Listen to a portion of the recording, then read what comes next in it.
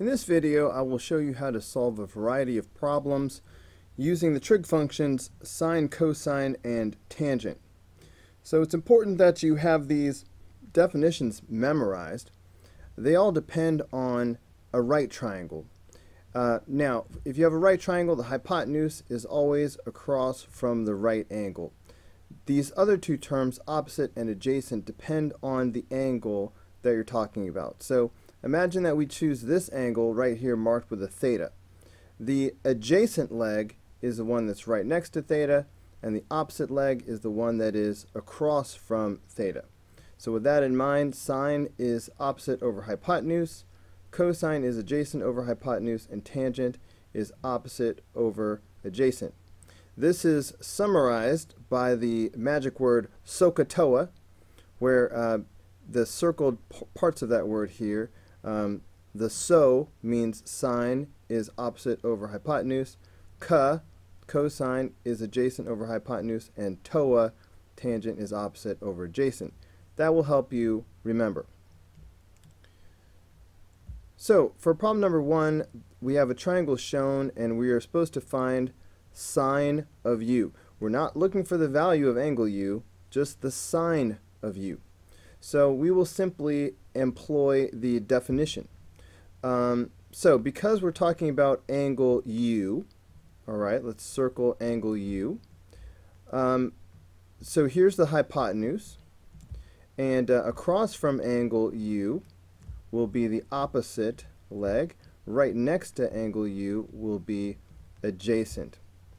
Now, sine is opposite over hypotenuse. So that's going to be 30 over 34. But this can be reduced. Both of these are divisible by 2. So that's going to be 15 over 17. So that's going to be A.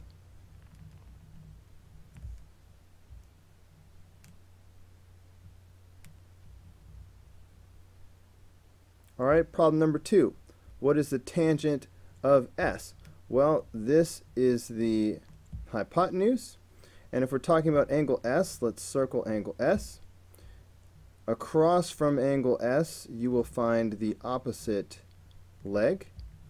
And the other leg that's close to angle S is adjacent. Now, tangent, um, abbreviated, the uh, definition is abbreviated TOA, that is opposite over adjacent. So that's going to be 16 over 30. Um, these are both divisible by 2. That would be 8 over 15. And that is going to be B.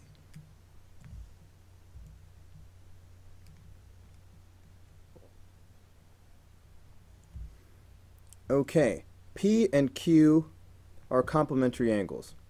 That just means they add up to 90 uh, it also means they could be two angles inside of a right triangle. So for example, um, this could be P and this could be Q, for example. Two angles, two acute angles in a right triangle will always be complementary.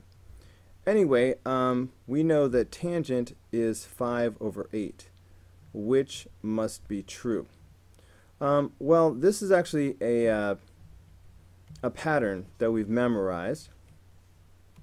If we have two complementary angles, all right, uh, if the tangent of one of the angles is 5 over 8, then the tangent of the other angle is going to be 8 over 5.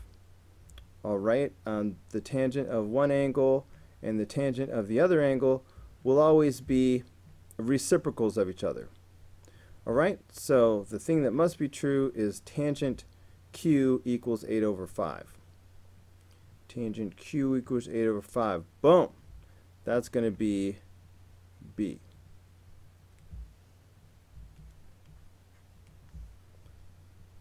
Okay, which of the following is equal to um, cosine of 15?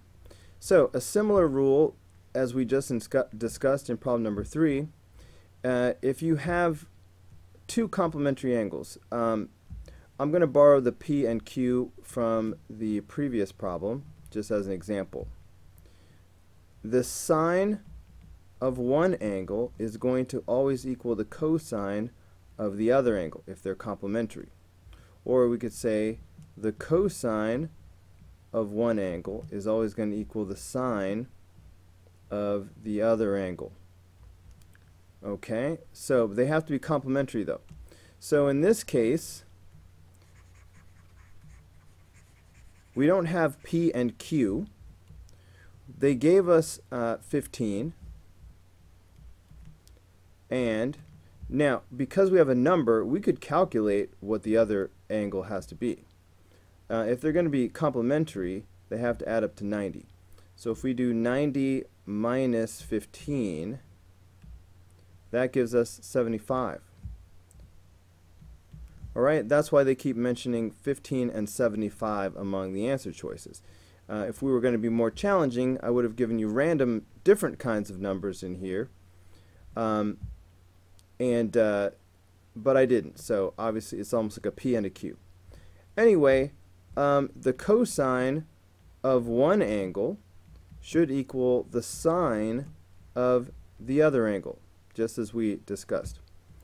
So the other thing that uh, must equal this is a sine of 75. So the answer is going to be C. Alright, now, even if you did not remember that property, as you should, you had a calculator. So um, I always want you to use different strategies. Um, you know, what if you're taking a standardized test and you forgot the rule? This is a problem you should have been able to solve even if you uh, never learned the rule. Because you can use your calculator to evaluate uh, the cosine of 15. Alright, it's given us this weird expression.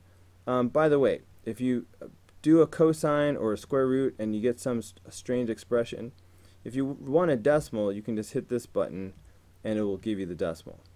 So uh, I'll look at it this way, 0.9659. Okay, so for example, if I tried sine 15 or tangent 15, okay, sine 15, nope. How about tangent 15?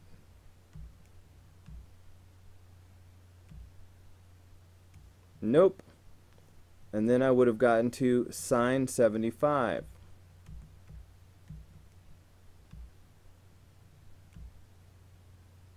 Oh look, 0.9659. Uh, That's just what we got when, when we did cosine 15. So um, we, we could have uh, figured out the answer using a calculator. Alright, solve this equation. Well, solving trig equations just depends on where the variable is. When the variable is in the denominator, um, this is when you swap these and you're going to get x is equal to 4 over sine 42. And you can just put that in your calculator.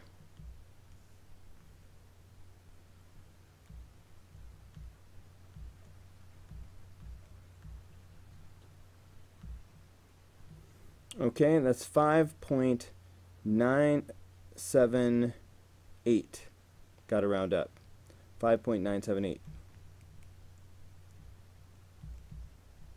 Oh, I guess I'm supposed to do letters. Let's see. 5.978 is right here. So I'm supposed to be doing this multiple choice thing. So I need to say D instead. Alright, that was number five. Okay, now let's let me leave this on the screen to compare. So when the x was in the denominator, that's when you swap. When the x is inside the trig function, like this, that's when you do the inverse. So here's where you go x equals inverse tangent of 15 over 4. Okay, and again you just put that in your calculator. So inverse tangent, that's second tangent 15 over 4. Okay, that's 75.069. Boom, that's D.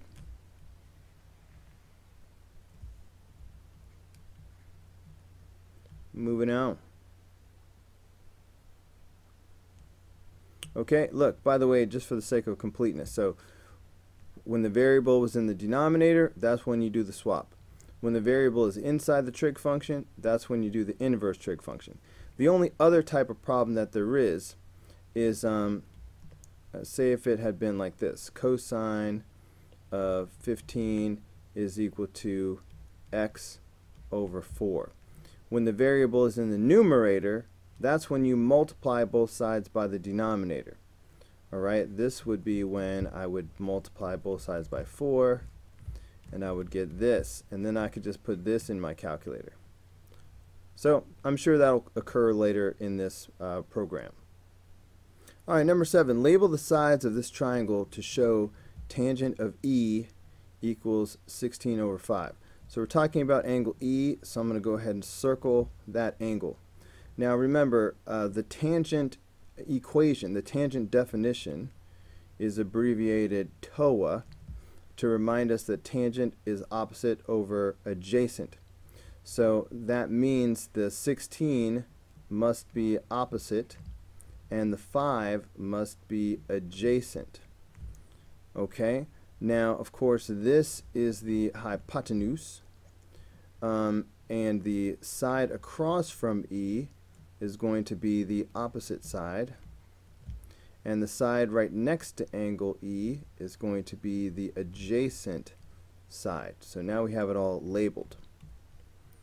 Okay, but we just decided that 16 was the opposite leg, so that's going to go here. This will be 16. 5 must be the adjacent leg, so that goes right here, as we already said. So we've labeled that. Um, but there's more. Then find and label the third side of the triangle, round to three decimal places if necessary. So we need to find the third side. We need to find the hypotenuse. So when you have two sides given and you're looking for the third side, that's what the Pythagorean theorem is for. Okay, just for your education, because whenever this comes up and I ask, hey class, how do we find the third side? Um, it's embarrassing all the things that students start mumbling. They're they're trying to say Pythagorean theorem, um, but they just don't really know what the words are. So maybe if you see it written out.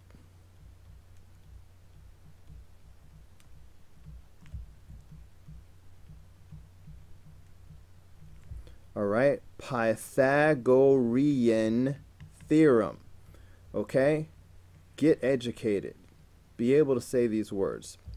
Pythagorean theorem. Anyway, it goes like this. Leg squared plus leg squared is equal to the hypotenuse squared. So the 5 and the 16 are both legs, and of course this is the hypotenuse. We're looking for the hypotenuse in this case. You know, so like imagine this was x, because that's what we're trying to find. Then we might say 5 squared plus 16 squared is equal to x squared. So we're looking for the hypotenuse. But this is going to be 25 plus, uh, I'm not sure what 16 squared is. Alright, 256. I should add that to my memorization patterns. Okay. So if you add those up, you get 281. Now if you want to get um, x by itself, you're going to have to take the square root of both sides. So that's going to give you uh, square root of 281. Um, it's giving me that back again because it doesn't simplify, but I'll hit this for the decimal. So that is 16.763.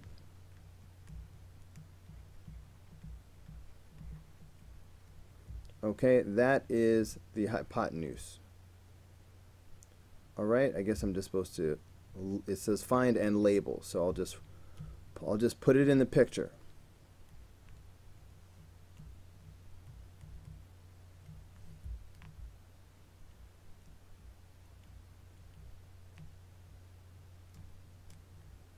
Okay, Pythagorean theorem.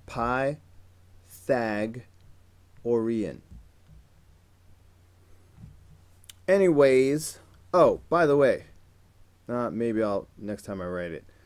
Because another one is hypotenuse. I mean, we keep saying this all the time. Here it is.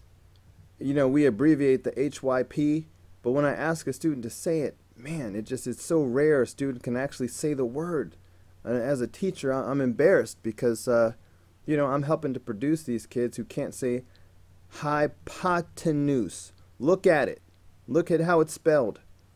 Hypotenuse. Hypotenuse. You can do it. Next time you're called on, proudly, boldly, say hypotenuse. I, I believe in you. You can do it. Anyway, find the side length marked x. Okay, let's go through our five-step process. When we're solving uh, a triangle using, um, you know, SOHCAHTOA, using our sine, cosine, and tangent. What you want to do is circle the angle and you want to label all the sides. So this is the hypotenuse.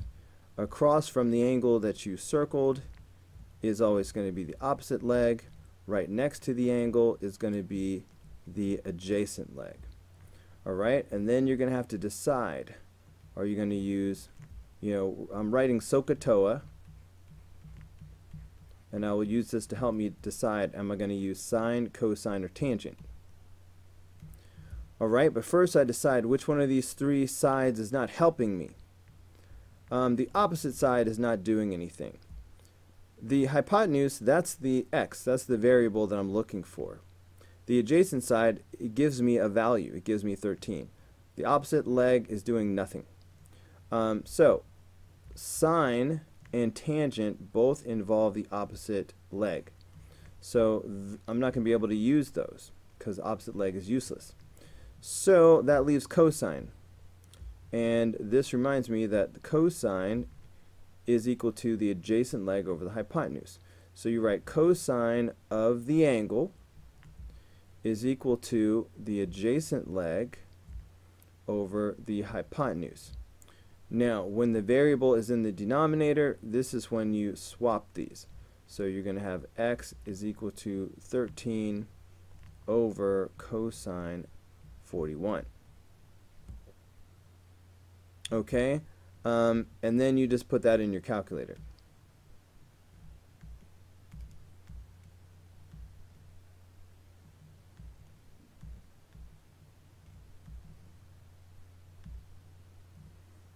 Okay, 17.225.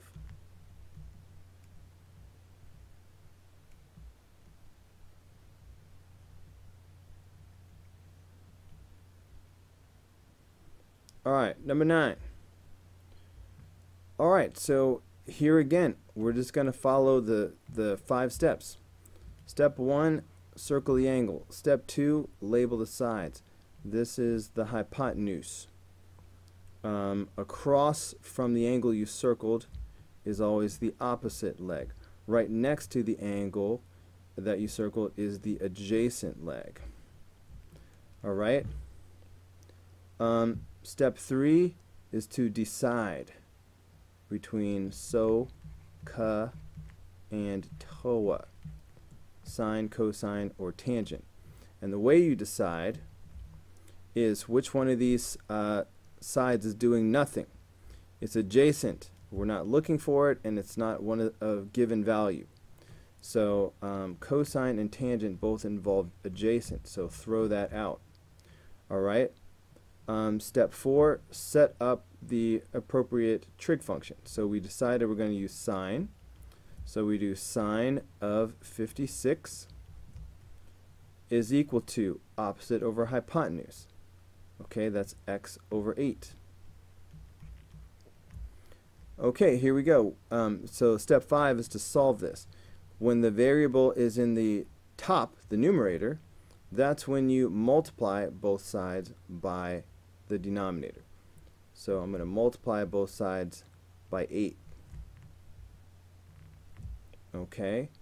Um, that leaves x by itself. So I can simply put this in my calculator. So 8 sine 56. So that is 6.632.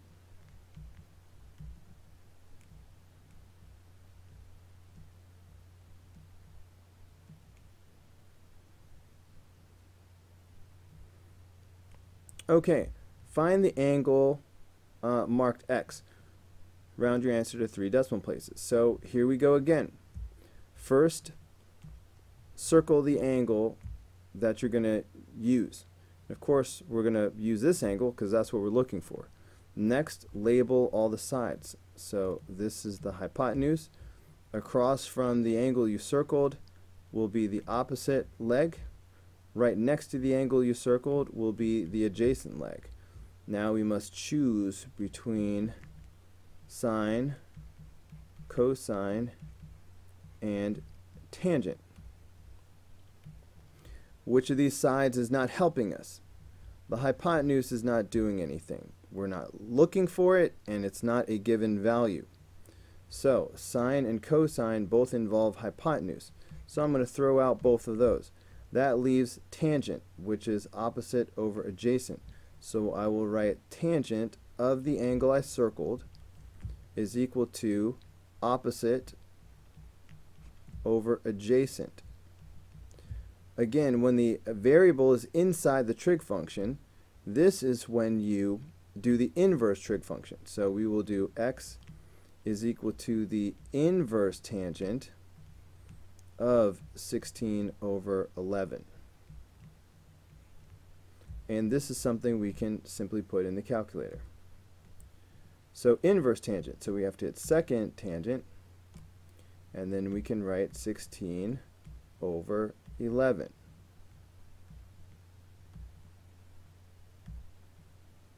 So that is 55.491.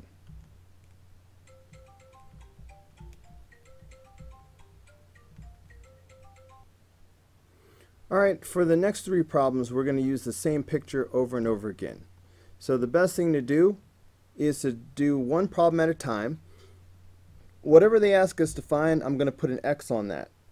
And when I'm done with that problem, I'm going to erase all my labeling and start over. So for problem number 11, they say find length of side KL. So here's K, here, here's L, here's side KL. So we're looking for this side, so I'm going to mark it with an X. So now it's just like all the other problems that I've done, the last uh, like four problems. So um, I almost started to uh, try to circle the angle that I'm going to use. But this is the case. Um, remember a, a while ago I was trying to get you to learn how to say Pythagorean theorem. Um, why were we using the Pythagorean theorem? we had two given sides and we were looking for the third side. That's when you use the Pythagorean theorem. Uh, and look, that's what we have now. All right, we have two sides and we're looking for the third side.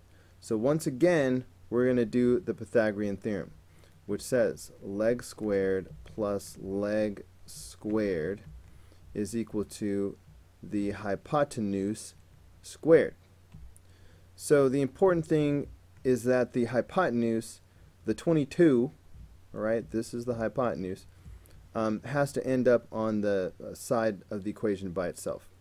So this is going to be like 9 squared plus x squared is equal to 22 squared, Pythagorean theorem. Uh, but this is 81 plus x squared is equal to 22 squared, 484. Um, and then we will subtract 81 from both sides. So that's going to leave x squared is equal to 403. Um, and then we have to take the square root of both sides. Okay, if I take the square root, then that's going to give me the final answer.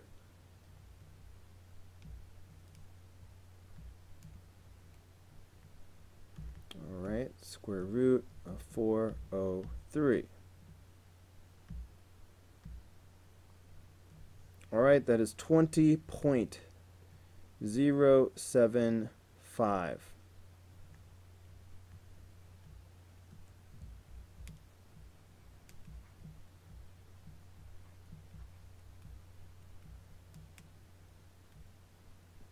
All right, so problem number 11 is over, and there's my final answer.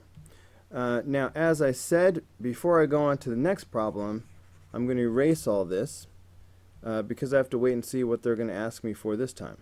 For problem number 12, they want me to find the measure of angle K. Okay, um, so I probably won't need this anymore. So I'm supposed to find the measure of angle K. So here is angle K over here. So this is what I'm supposed to find. So I'm going to put my X there. This time I am going to wind up using sine, cosine, or tangent. So I'm going to do what I always do. Circle the angle. Label the sides. This is the hypotenuse. Across from the angle you circle is the opposite leg. Right next to the angle you circle is the adjacent leg. Now, think about SOHCAHTOA.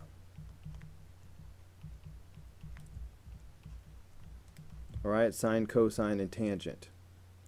Which one of these, um, which one of these three sides is not doing anything?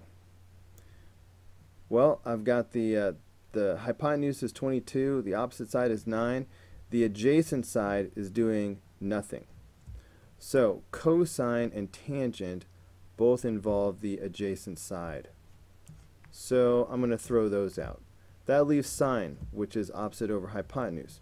So I will say sine of the angle I circled, which is x, is equal to opposite over hypotenuse, 9 over 22. When the angle is inside the function, this is when you do the inverse trig function. So x is equal to inverse sine of 9 over 22. And you can just put that in your calculator. So inverse sine of 9 over 22.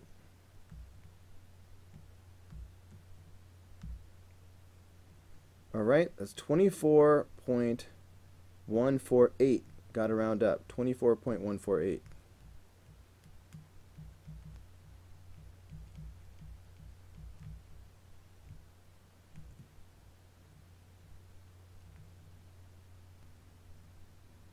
Alright, for number 13, we are supposed to find the measure of angle M. Okay, so I've erased everything on the picture. This time we're supposed to find the measure of angle M. So I'm going to put my X right here. So I'm going to just go through my steps real quick. Circle the angle, label the sides. This is the hypotenuse. Across from the angle is the opposite leg right next to the angle is the adjacent leg.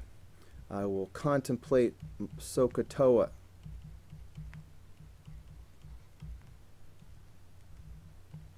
Which of these sides is doing nothing? The opposite side. There's no number and we're not looking for it. So sine and cos, uh, sorry, sine and tangent both involve the opposite leg. So I'll throw those out. So that means we will be using cosine, which is adjacent over hypotenuse. So cosine of x is equal to 9 over 22. Again, when the variable is inside the trig function, we need the inverse trig function. So inverse cosine of 9 over 22. Okay, and we can just put that in the calculator. Inverse cosine of 9 over 22. Alright, that is 65.852.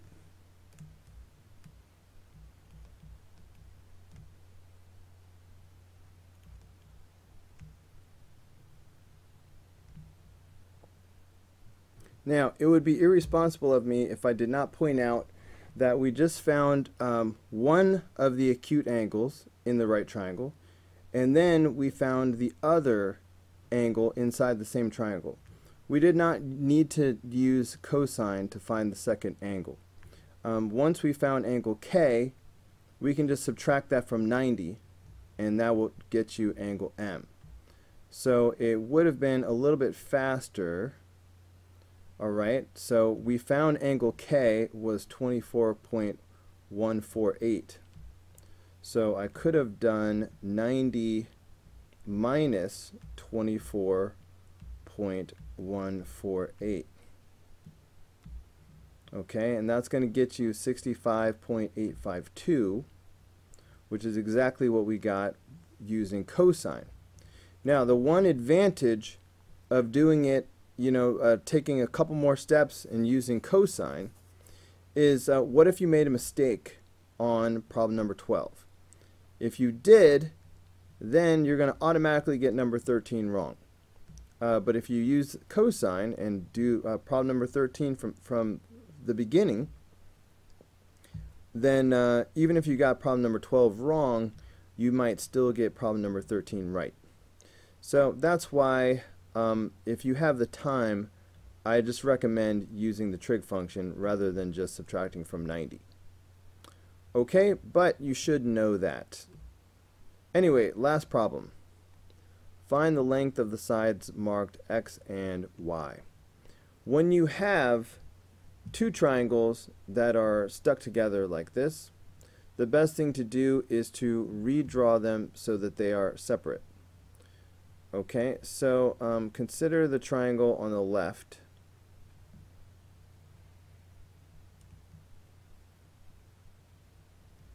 Okay, so we've got the 54, and this is 17, and this is x.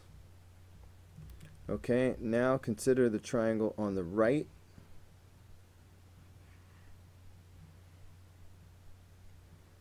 Okay where this is 49 and uh, this is also x alright it's the same for both. It's a shared side. And then this is y. Okay now right now there's only one of these triangles that we could solve. The one on the left. See how it has more numbers? And only has one variable. Um, this one has two variables and only one number that's uh, that one number is not enough to uh, solve sine, cosine, or tangent. You need two numbers and then the variable. So we really have to solve the triangle on the left first, and then we will use that value to solve the triangle on the right. So let's go ahead and do what we do. You circle the angle and label the sides. So this is the hypotenuse across from the angle that's the opposite leg. Right next to the angle is the adjacent leg. Contemplate SOHCAHTOA.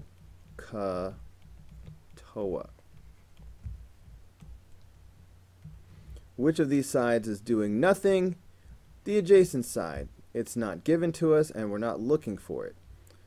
Cosine and tangent both involve adjacent, so we will throw those out. That means we're going to use sine. So we, we will write sine of the angle that we circled is equal to opposite over hypotenuse. So that's going to be x over 17. When the variable is in the numerator, that's when you multiply both sides by the denominator. Alright, so these are going to cancel each other out. And um, this is something I can put in my calculator. 17 sine 54. So that's 13.753.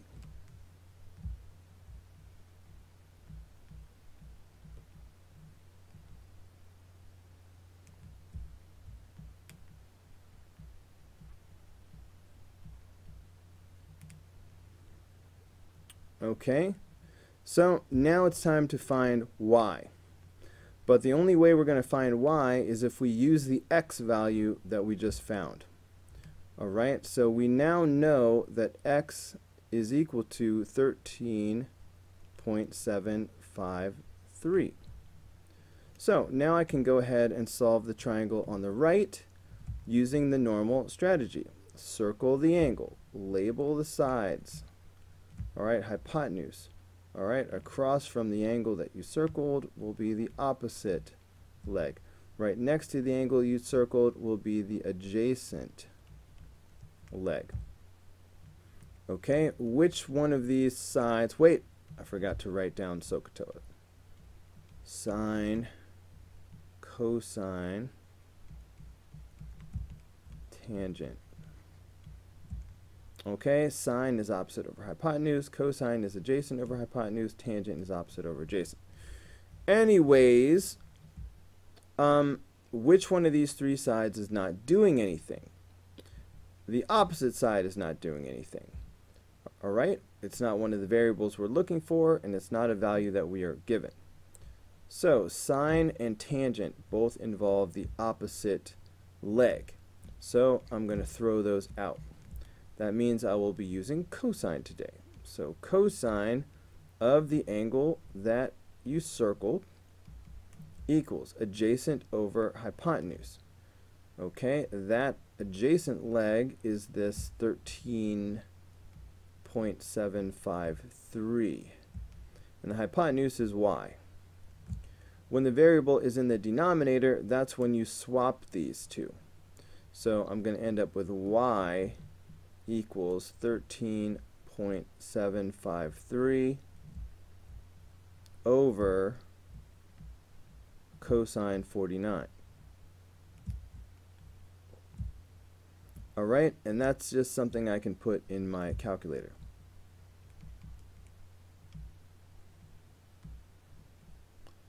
Thirteen point seven five three over cosine 49. 20.963.